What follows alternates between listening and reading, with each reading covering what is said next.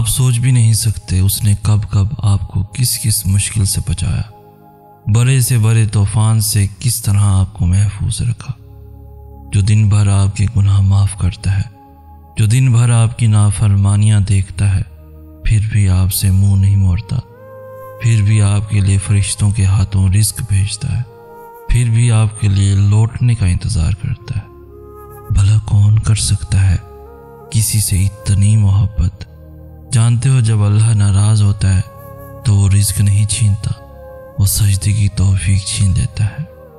वो आसाइश नहीं छीनता, वो दिलों को खाली कर देता है। क्योंकि अल्लाह तो दिल में होता है ना।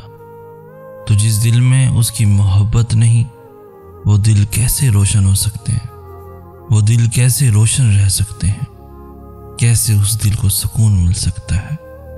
कैसे उस दिल को खुशी मिल सकती है? कुरान पाक में अल्लाह ताला फरमाते हैं आए इंसान, तुझे किस चीज़ ने अपने रब से गाफिल कर दिया?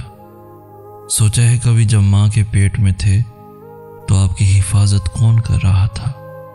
अल्लाह कर रहा था। और फिर जब बड़े हुए कदम कदम पर आपका साथ दिया, आपको संभाला, आपको अक्ल शूर दिया, आपको सही और गलत में फ़र्क बताया।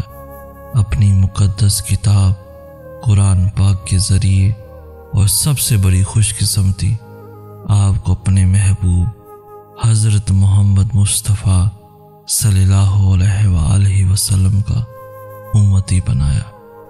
यकीन से मांगी हुई दुआएँ कभी खाली नहीं लौटाई जाती।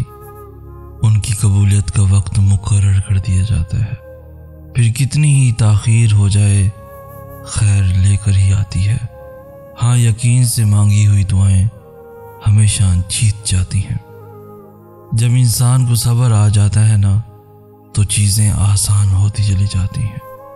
फिर सब्र करना मुश्किल नहीं लगता। फिर रास्ते कितने ही मुखालिफ क्यों ना हो। दिल में एक सुकून इतमान होता है कि बेशक मेरा अल्लाह सब्र करने वालों के साथ है। पहली बात तो आपको ये याद रखनी है कि यकीन के बिना दुआएँ अधूरी हैं।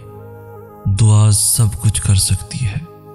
जो मांग रहे हो वो तुम्हारे लिए, दुनिया के लिए नामुमकिन हो सकता है। लेकिन जिससे मांग रहे हो, वो अला कुल शाइन कदीर है, जो इस पूरे निज़ाम हस्ती को चला रहा है, जिसके हुक्म से सूरज निकलता है और ढल जाता है। जिसके हुक्म से सुबह शाम में, फिर शाम रात में बदल जाती है, जो तुम्हें आज तक संभालता आया है। वो कैसे तुम्हारी दुआ कबूल ना करेगा? अल्लाह से जब भी मांगो, जैसे भी मांगो, वो ज़रूर सुनता है। वो तुम्हारी खामोशियों को भी सुनता है, और तुम्हारे सीनों में छुपे हर राज से वाकिफ है। बस तुम कामिल यकीन से मांगो, फिर देखना तुम्हारी दुआएँ खुद ही कबूल होती हुई नज़र आएँगी। खुद ही मौजे रूनमा होते हुए नज़र आएँगे। सूर्य बकरा की आयत नंबर एक सौ छियासी में अल्लाह ताला फरमाते हैं, जब मेरे बंदे मेरे बारे में आपसे सवाल करें तो आप कह दें कि मैं बहुत ही करीब हूँ हर पुकारने वाले की पुकार को।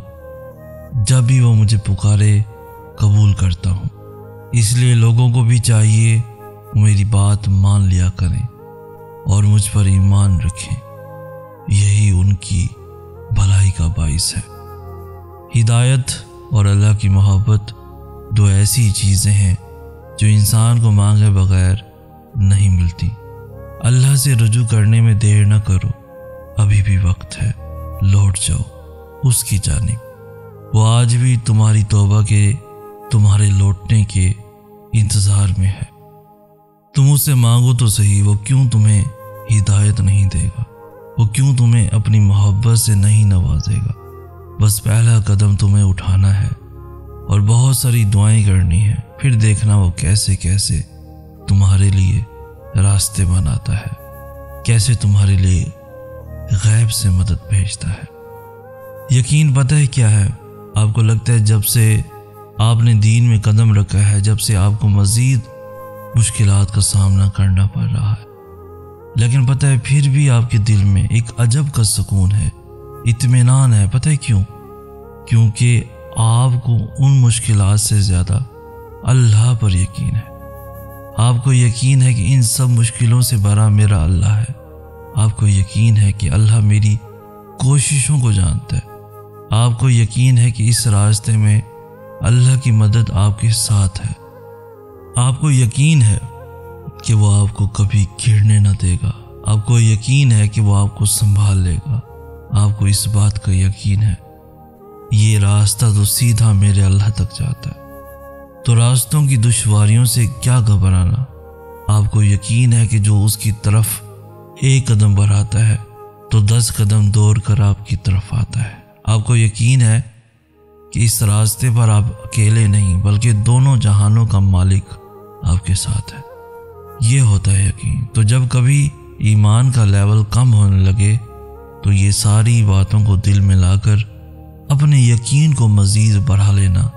यकीन करो, अल्लाह पर यकीन ही आपको कभी थकने नहीं देगा। रसूलुल्लाह सल्लल्लाहु अलैहि वसल्लम ने फरमाया, सजदा करते हुए बंदा अपने रब के सबसे ज़्यादा करीब होता है। बस सजूद में कसरत के साथ दुआ किया करो। सजदे में तुम अल्लाह के सबसे ज़्यादा करीब होते हो। सजदे में जब तुम कहते हो ना सुबहाना रबी आला, पाक है मेरा रब, जो सबसे बुलंद है तो तुम्हें ज़ुबान के साथ दिल से भी इकरार करना कि अल्लाह सबसे बुलंद है। तुम्हारी मुश्किलें, तुम्हारी ख्वाहिशें तो बहुत छोटी हैं। तुम्हारा रब इन सबसे बड़ा है। फिर अपने रब से दुआ करना। फिर देखना वो कैसे तुम्हारी दुआ रद्द करता है। कैसे तुम्हारी पुकार को अनसुनी करता है। कैसे तुम्हारे लिए गैब से मदद नहीं भेजता। जब खालिज कुछ अल्लाह के लिए छोड़ा जाता है, नीयत में खोट नहीं होता। तो अल्लाह की तरफ़ से सिला मिलना लाजिम हो जाता है। वो जानता है तुम कितनी कोशिशों के बाद आज यहाँ तक आए हो। वो जानता है तुम उस तक आने के लिए अपनी जान से प्यारी चीज़ भी छोड़ आए हो। वो जानता है तुम उसकी रज़ा पाने के लिए अपनी रज़ा कुर्बान कर आए हो। वो जानता है तुम्हारी मामूली से मामूली कोशिशों को भी यकीन करो कुछ रायगा ना जाएगा। तुम्हें बस सब्र से काम लेना है। तुम्हें तो बहुत ख़ास मकसद के लिए चुना गया है। तो बस अब छोटी छोटी बातों को दिल से लगाकर न बैठ जाना। सब्र का मतलब ये नहीं कि आप रो भी नहीं सकते। रोना एक फितरी अमल है। सब्र तो ये है कि जिस रास्ते पर अब चल पड़े हो उसी पर साबित कदम रहना है। हज़ार मुश्किलात आ जाएँ, सामने समंदर भी आ जाए। तो बस यकीन रखना सब्र करना है। क्योंकि अल्लाह तो सब जानता है ना। उसके लिए किया गया तुम्हारा सब्र कभी भी रायगा नहीं जाएगा। यकीन करो, कभी भी नहीं।